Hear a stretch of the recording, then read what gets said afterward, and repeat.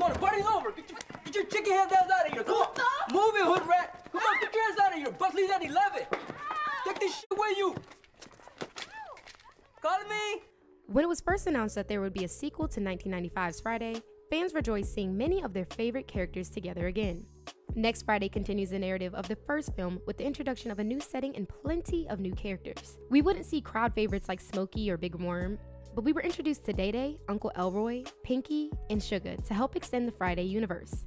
Along with these characters who were memorable, it was the movie's villains who stole the show the Joker Brothers. The Joker Brothers lived next door to Day Day and were a trio of hardened drug dealing criminals that terrorized Carla and her mother by bringing crime to their home in the neighborhood. The characters were portrayed as intimidating with comedic undertones, especially when it came to their dog Chico, who was actually portrayed by two separate dogs, both named Chico. Separately, the characters were credited as Joker, played by Jacob Vargas, Lil Joker played by Lobo Sebastian, and Baby Joker played by Rolando Molina. Although the characters on screen had great chemistry on set, Molina said that they met on set and that they formed an incredible bond there. The thing about me, Jacob, and Lobo, you know, all three of us, we really, really bonded on the set of next Friday, and it could be months, even years that we haven't seen each other. But when we run into each other, it's like we just seen each other yesterday, you know? That's the kind of love and respect that we have for each other. This organic chemistry shined on screen and allowed the group to create iconic moments from what was actually quite a bit of ad libbing and improvisation, which is why the Joker brothers will always remain unforgotten.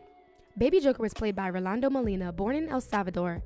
Molina migrated to the United States at a young age and broke into the industry after working as a security guard at Universal Studios. He was discovered by actor, producer, and director Edward James Olmos and debuted in the 1992 film American Me. Molina resides in Los Angeles, consistently working as an actor in numerous TV series. Molina's resume includes Menace to Society, episodes of Living Single and The Wayans Bros, reoccurring characters on ER and General Hospital, My Wife and Kids, and many more. In a 2021 interview, Molina revealed that he auditioned for the role of Hector in the first Friday film. The same day, Molina auditioned for a guest starring role in Living Single. Molina booked the role in Living Single, and after he signed his contract, he was told he booked the role of Hector in Friday as well. However, due to his commitment with Living Single, he was unable to accept the part in Friday. In that same interview, Molina spoke on his experience working with John Witherspoon and the great time they had improvising each other.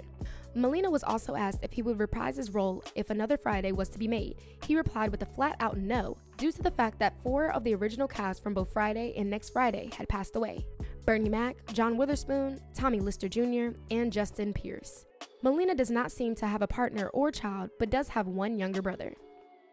Lobo Sebastian got his start in the industry in the mid 90s, consistently appearing in television and film since his debut in 1994's No Ordinary Love.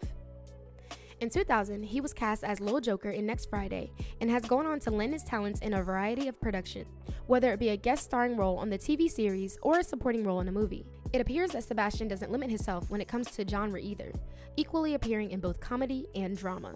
Lil Joker, played by Lobo Sebastian, has been the most elusive of the three, not appearing in interviews or on social media. He has been described by Rolando Molina as introverted and heavily dedicated to his craft of acting.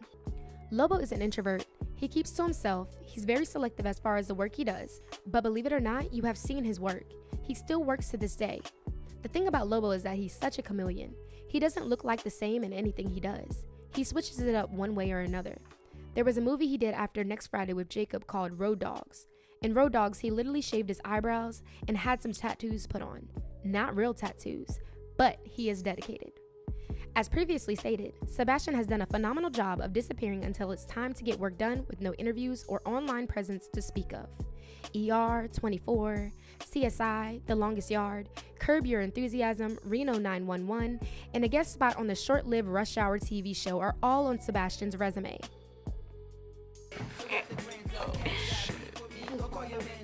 Go flea biscuit. Go flea biscuit. I thought you were gonna take me to see mommy. Uh, as you can see, I'm a little preoccupied right now. I'll take you later. When? After you're all drunk and loaded? I said I'll take your stupid ass later, alright? Joker, often confused as Baby Joker due to his shorter stature, was played by Mexican actor Jacob Vargas. Vargas was born in Michoacan, Mexico, but moved to Los Angeles by the time he was one, one and a half. He got his start in the business at a very young age by breakdancing with his friends from the neighborhood.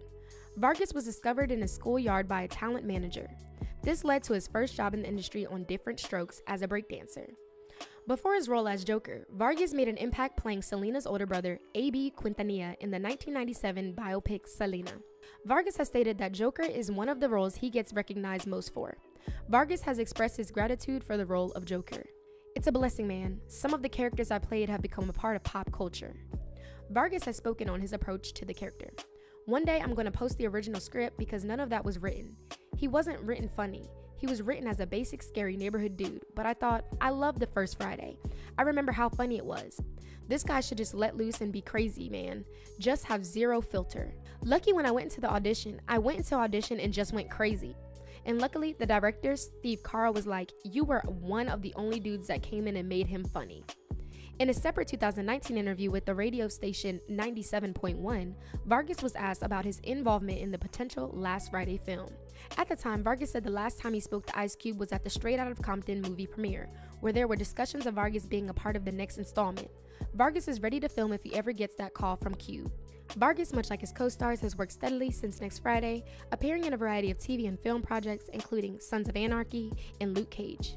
Most notably, Gabriel Fluffy Iglesias' show, Mr. Iglesias on Netflix as Tony Ochoa, best friend of the show's star.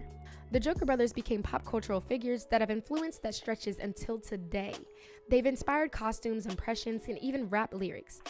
Quavo from the Migos borrowed Jacob Vargas' line, Count My Green or Get In Between, for the chorus of Thick and Pretty off the 2007 Quality Control mixtape.